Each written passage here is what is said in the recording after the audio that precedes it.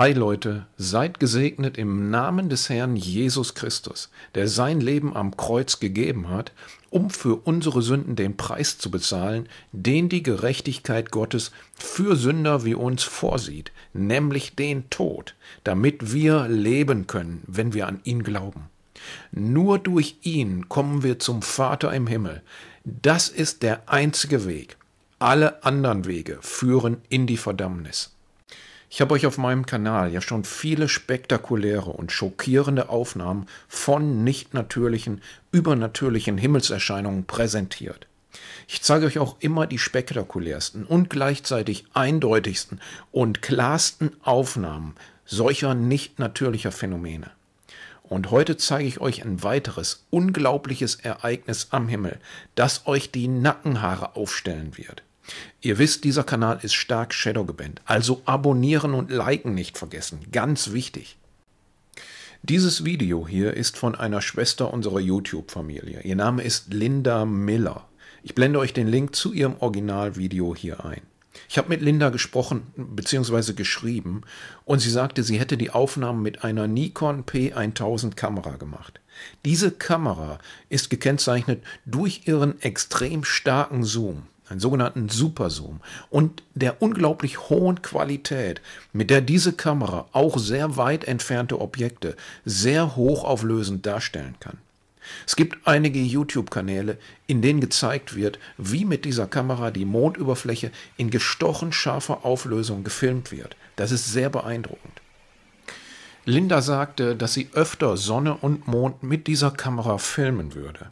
Aber an diesem Tag, es war der 15.07.2019, um 7.51 Uhr abends, hatte sie das Gefühl, als würde sie irgendwie innerlich gedrängt werden, hinauszugehen, um den Himmel zu filmen.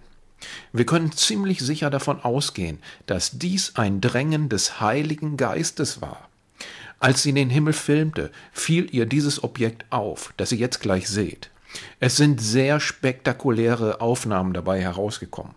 Wohl noch nie zuvor wurde dieses Phänomen so deutlich und nah gefilmt. Ein UFO praktisch aus nächster Nähe. Sie berichtete, von weitem sah es so aus wie ein Passagierflugzeug mit zwei Turbinen, aus denen die Kondensstreifen herauskamen.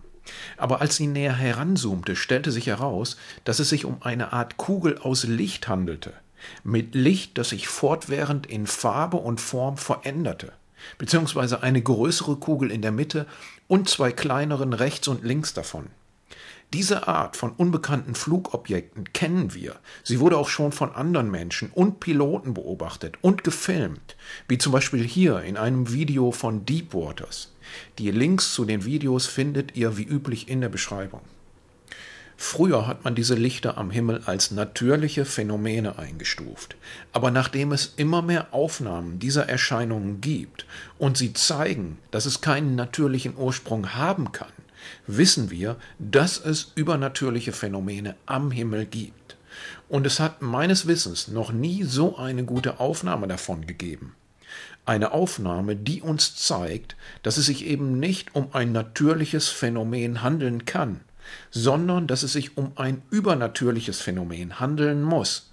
Denn dieses Objekt hier imitiert ein zweistrahliges Passagierflugzeug, für das man es auch aus weiter Distanz, also vom Boden aus, halten würde. Aber das bei näherer Betrachtung, wie wir hier sehen, eindeutig kein Passagierflugzeug ist, sondern eine Kugel bestehend aus Lichtern, die fortwährend ihre Farbe und Form ändern. Als Christen wissen wir, was dies bedeutet. Dies sind weder echte UFOs, noch sind sie von einem anderen Planeten, noch handelt es sich um Außerirdische oder irgendwelche Projektionen von Außerirdischen, sondern es sind die deutlichen Zeichen der Endzeit. Es sind Dämonen, die die Alientäuschung der großen Drangsalzeit vorbereiten, die die Bibel für kurz vor der Wiederkunft unseres Herrn Jesus Christus prophezeit. Die spirituelle Welt ist an unserem Himmel sehr aktiv. Einerseits, um die biblischen Zeichen der Endzeit zu verschleiern, damit die Menschen die spektakulären Zeichen am Himmel mit einer schwächer werdenden Sonne und großen Himmelskörpern und Asteroiden nicht sehen und nicht verängstigt werden, so dass sie die große Tribulation nicht kommen sehen und nicht mehr das rettende Ufer erreichen können.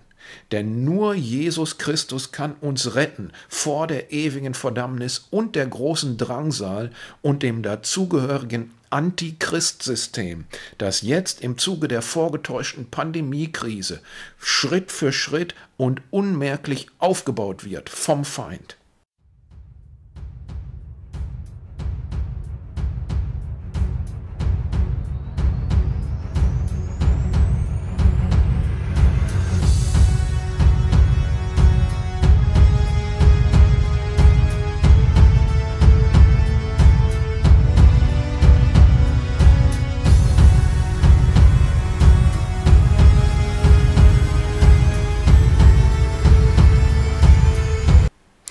Gibt noch weitere deutliche Zeichen übernatürlicher Aktivität der Endzeit an unserem Himmel. Hier habe ich noch ein paar weitere spektakuläre Aufnahmen für euch. Schaut euch das einmal an.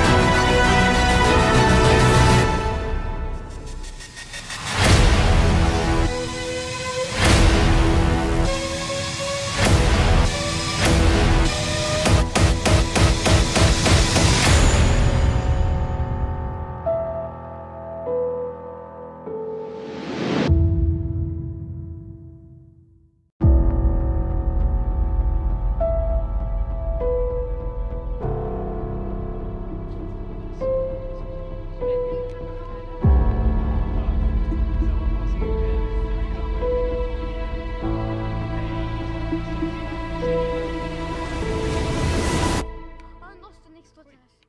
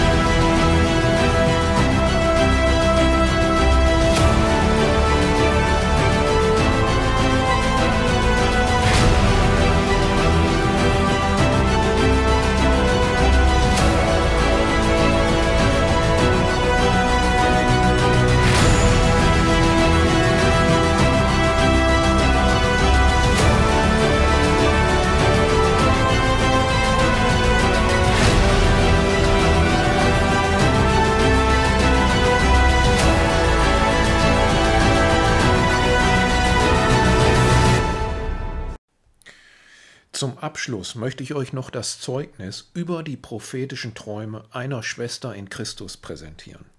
Sie hat Träume und Visionen vom Herrn erhalten, die das Szenario der Endzeit zeigten. Ihr wurden Raumschiffe und Lichter am Himmel gezeigt und die Alientäuschung, nach der die Massenmedien die Bilder von Raumschiffen als Ankunft von Außerirdischen verkaufen. Ich mache heute dieses Video, weil ich euch äh, von, von, einem Traum erzählen möchte, das mir äh, Jesus gegeben hat. Diesen Traum hat er mir gegeben am 20. April 2013. Und äh, für alle, die Interesse haben sollten, dieser Traum ist in schriftlicher Form auf meinem Kanal erhältlich, auch in zwei anderen Sprachen, Englisch und Italienisch. Ähm, ja, folgendes. In dieser Vision äh, befand ich mich in meiner Wohnung. Und da kamen die Engel Gottes. Und diese Engel haben mich darauf vorbereitet, um mir was zu zeigen also was geschehen wurde. Dann haben mich diese Engel, sie haben mich in die Luft hochgenommen. Und ich flog über die Erde mit den Engeln und konnte die Erde von oben sehen. Und ich weiß noch, dass ich, ähm, ja, ich war oben, ich bin geflogen mit den Engeln, ich schwebte in die Luft über die Erde und ich sah ganz viel Dunkelheit auf die Erde und, äh, und dazu noch Vulkanexplosionen. Also im Hintergrund war, waren Vulkanexplosionen. Und äh, ja, und als ich oben war und das alles gesehen habe, fragte mich einer der Engel, fragte mich, also er hatte eine sehr mächtige Stimme und er fragte mich, kannst du die Engel sehen? Kannst du die Engel Gottes sehen? Kannst du sie sehen? Und ich habe geantwortet, ja, ich kann sie sehen.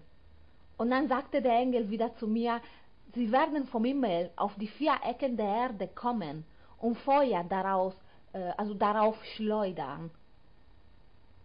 Also er sagte mir, dass die Engel äh, über die vier Ecken der Erde kommen und Feuer darauf gießen werden.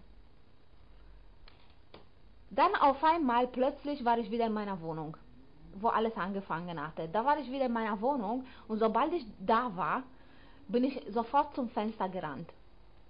Und äh, ich weiß noch, dass ich zum Fenster gerannt bin und äh, so, als ob ich auf jemanden oder auf irgendwas warten würde. Und plötzlich, als ich am Fenster stand, habe ich gesehen, wie ein äh, Asteroid aus dem Himmel gefallen ist. Ein paar Straßen entfernt von meinem Haus. Also mitten im Wohngebiet.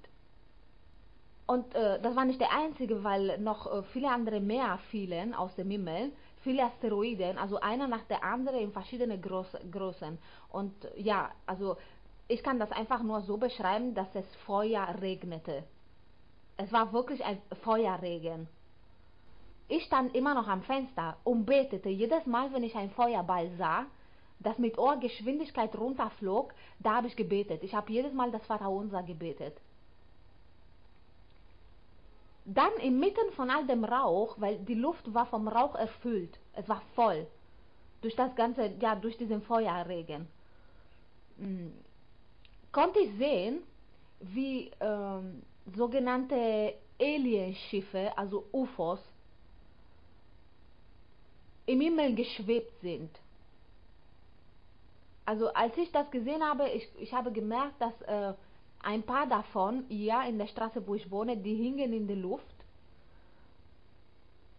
und äh, hatten verschiedene Lichter. Also manche hatten weiße Lichter, manche hatten rote, manche blaue Lichter und äh, sie waren auch in verschiedenen Formen. Also manche dieser UFOs waren äh, also die klassische, die klassische äh, Form, was man so kennt, Untertassen und dann ähm, weiß ich noch, es gab eine andere Sorte, das sah aus wie ein Ball und also wie ein riesiger Ball mit ganz vielen Löchern.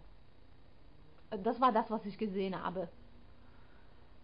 Und ähm, ja, und diese, diese UFOs schwebten ähm, auf die Höhe der Häuser. Ne? Und äh, auf einmal aber haben sie aufgehört zu schweben Und sie haben angefangen, sich zu bewegen. Und zwar bewegten sich diese UFOs vor den, Fenst den Fenstern äh, der Häuser, also wo die Menschen drin gewohnt haben. Und äh, als sie das gemacht haben, ähm, ja, sie bewegten sich vor den Fenstern so, als ob sie äh, reinschauen würden, ob irgendjemand zu Hause ist. Einer von diesen UFOs, die die Form hatte von einem riesigen Ball mit Löchern, also dieser Raumschiff, dieser UFO, was auch immer das war, ist dann vor meinem Fenster geflogen und hat reingeschaut in meiner Wohnung, ob irgendjemand zu Hause ist. Okay?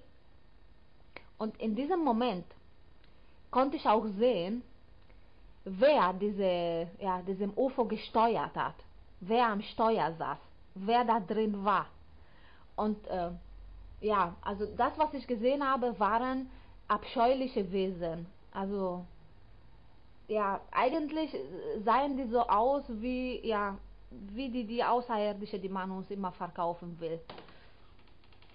Sie hatten, äh, ich weiß noch, dass sie äh, fast platte Gesichter hatten, also fast, fast keine Gesichtszüge schon und ähm, kein, also emotionslos. Sie, sie, zeigten keine Emotionen, sie hatten keinen kein Ausdruck im Gesicht also das, das habe ich alles gesehen in diesem Moment, als dieser Schiff äh, vor meinem Fenster geflogen ist. Und das konnte man sehen, weil dieser Schiff hatte, das hatte Löcher. Das war ein riesiger Ball mit Löchern. Und deswegen konnte man ja auch reingucken. Und außerdem, in dieser Schiff waren diese zwei Wesen, die, waren, die haben gleich ausgesehen, zwei Stück davon. Wie gesagt, abscheulich, einfach nur abscheulich. Und äh, ja, und Menschen waren auch an Bord dieses Schiffes. Es waren drei, vier, fünf Menschen, ich weiß nicht mehr wie viele, aber ich weiß noch, dass diese Menschen gesessen haben und ähm, ja, sie haben auf mich den Eindruck gemacht, als ob sie betäubt gewesen wären oder unter Schock, weil sie haben gesessen, aber sie da drin, aber sie haben sich nicht bewegt. Und sie haben ja, sie haben sich nicht bewegt. Also die sahen wirklich aus, als ob sie betäubt wären. Dann, als diese Schiffe endlich weg waren, als die sich endlich verzogen hatten, bin ich dann wieder ins Wohnzimmer zurückgekommen oder gegangen. Und ich konnte sehen auf meinem Computer, da kam eine Nachricht äh, von der NASA. Ne? Und diese Nachricht besagte, NASA garantiert nicht mehr für die Sicherheit. Aufgrund einen Asteroidenregen und einen konsequenten globalen Alien, äh, ja, einen konsequenten globalen Alien-Attacke, also eine Alien-Invasion. Und deswegen die NASA wurde nicht mehr für die Sicherheit garantieren. Also es war viel zu viel los. Es hat Feuer geregnet, es sind Aliens auf die Welt gekommen. Äh, war eine ganze Menge los. Ich bin dann aufgewacht morgens unter Schock ich konnte wirklich kaum glauben, was ich da gesehen habe und das war sehr, sehr real. Es war wirklich sehr, sehr real und ähm, also das war Gott, der an die Nacht, in dieser Nacht gearbeitet hat, um mir diese ganzen Sachen zu, zu zeigen. Warum? Er hat mir das gezeigt und ich bin nicht die Einzige, denen das gezeigt wurde. Im Internet kann man wirklich sehr viele ähm, sehr viele Videos auch finden äh, von Leuten, die ähnliche Sachen gesehen haben, also gezeigt bekommen haben. Wahrscheinlich diese ganzen Sachen, die ich euch jetzt erzählt habe, also das Feuerregen und äh, äh Aliens auf die Welt und UFOs und ähm, diese ganzen Sachen, die werden wahrscheinlich dann passieren, wenn die Entrückung stattgefunden hat. Für all die, die es nicht wissen, die Entrückung äh, ist das, was passieren wird, wenn Jesus die Gläubigen aus der Welt rausholen wird. Okay, das ist das Versprechen, was er uns gegeben hat in der Bibel vor langer, langer Zeit und er wird diesen Versprechen schon sehr, sehr bald wahr machen. Und deswegen gibt er Bescheid jetzt bei allen Leuten, die ihn suchen und lieben und äh, ja, bei allen Leuten, wo er an erster Stelle steht ähm, und die sich zu ihm bekehrt haben, Jesus gibt diese ganzen Warnungen, weil er möchte, dass wir wissen, was passieren wird. Und möchte uns auch aufklären dadurch. Also, diese ganzen Sachen werden wahrscheinlich passieren, wenn die Entrückung stattgefunden hat. Okay? Und äh, sobald die Entrückung stattgefunden hat, wenn die Gläubigen weg sind von, aus dieser Welt, wenn Jesus sie rausgeholt hat, dann in diesem Moment wird der Heilige Geist auch die Menschheit verlassen. Der Heilige Geist wird weg sein aus dieser Erde. Okay? Und der Heilige Geist macht jetzt, jetzt, wo er da ist, bei uns auf dieser Erde, macht, dass diese Sachen auf ein Minimum äh, reduziert sind. Also das heißt, äh, der Heilige Geist äh, hält diese ganze UFOs-Erscheinungen und diese ganze ja, Entführungen, weil anscheinend gibt es auch Leute, die von diesen Wesen entführt werden. Der Heilige Geist hält das auf einem Minimum. Okay? Er stoppt das, er blockiert das. Und sobald der Heilige Geist weg sein wird, dann wird es nichts mehr geben, was diese Sachen blockieren kann und stoppen kann. Und deswegen äh, wird für diese, für diese Wesen das, was wir äh, unter Alien, Alien kennen oder Außerirdische, das sind keine Außerirdische, das sind keine Alien. Es gibt keine Außerirdische, gibt es nicht. Das sind Dämonen, okay? Das sind Dämonen direkt aus der Hölle. Und bald wird das alles zu sehen sein. Weil sobald der Heilige Geist weg ist, dann gibt es nichts mehr, was diese Sachen blockieren kann äh, oder aufhalten kann. Und dann werden diese Wesen, diese Dämonen aus der Hölle und Satan selbst, sie werden auf die Welt kommen, auf die Erde und werden Jagd machen auf die Menschen. Okay? Sie wollen nichts Gutes für die Menschheit. Selbst wenn diese Wesen ähm, vielleicht, ich weiß es nicht, vielleicht äh, freundlich erscheinen können oder, oder sogar wenn, wenn der Papst selber, der Papst, wenn der sagen sollte eines Tages, äh, dass ein Aliengott auf die Welt gekommen ist und äh, dass diese Wesen friedlich sind, glaubt es nicht. Bitte glaubt es nicht. Weil so ist es nicht. Diese Wesen wollen uns nichts Gutes. Weil es Dämonen sind, okay? So, und die, die Massenmedien und die Politik, die haben sich alle, alle Mühe gegeben, seit Jahrzehnten schon, um, um der Menschheit äh, äh, ja, glauben zu lassen, dass das Aliens sind. Sind es aber nicht. Und äh, Gott hat mir das gezeigt, damit die Menschen wissen, wenn die Entrockung passieren wird, und das wird passieren, die Medien und die Politik und alle, alle werden der Menschheit versuchen klarzumachen, dass die Menschen, die, die, die gegangen sind mit Jesus in die Entrückung, dass diese Menschen von Aliens entführt wurden. Okay, das wird die offizielle Version sein, von Politik, von Massenmedien und so weiter und so fort. Den Menschen, die, das, die es nicht schaffen, in die Entrückung zu gehen, zusammen mit Jesus, weil sie sich nicht bekehrt haben und Jesus nicht gefolgt sind, diese Menschen werden zurückbleiben, leider. Und äh, ja, diese Menschen, das wird dann die Erklärung sein, was die Medien und die Politik für diese Menschen parat haben wird. Und zwar, dass die Leute, die verschwunden sind aus der Welt mit Jesus, dass diese Leute von Aliens entführt wurden. Aber es ist nicht so. Bitte glaubt es nicht. Glaubt es nicht. Ja, und wie gesagt, also sobald der Heilige Geist verschwunden ist, werden sich diese Wesen eher auf der Welt mitten unter der Menschheit materialisieren. Okay? Deswegen ist es wichtig, äh, wirklich sehr, sehr wichtig, Jesus anzunehmen. Ich hoffe, dass irgendjemand, der, mm, äh, der das braucht, diese Nachricht hört und, und, äh, und sich ein paar Gedanken darüber macht über diese ganze Sache, weil das wird kommen. Das wird kommen, Leute, ob ihr das glaubt oder nicht. Das wird kommen. Okay? Und wenn ihr eure Leben zu Jesus gibt, dann werdet ihr das alles nicht sehen müssen. Weil Jesus äh, seine, seine Leute, seine Gläubigen, die Leute, die ihn lieben, rausholen wird aus der Welt, bevor das überhaupt äh, geschehen kann. Bevor die Welt von Dämonen übernommen wird.